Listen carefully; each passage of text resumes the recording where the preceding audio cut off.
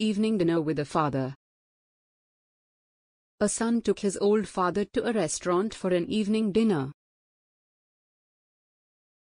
Father being very old and weak, while eating, dropped food on his shirt and trousers.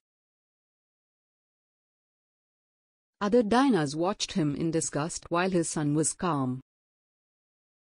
After he finished eating, his son who was not at all embarrassed, quietly took him to the washroom, wiped the food particles, removed the stains, combed his hair and fitted his spectacles firmly.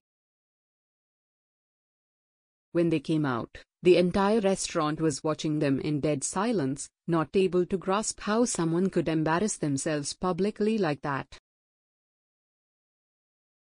The son settled the bill and started walking out with his father.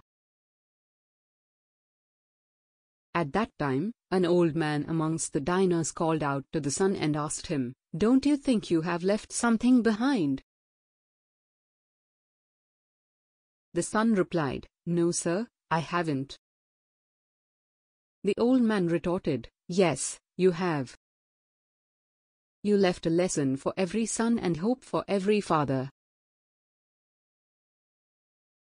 The restaurant went silent. Moral, to care for those who once cared for us is one of the highest honors. We all know how our parents cared for us for every little things. Love them, respect them, and care for them.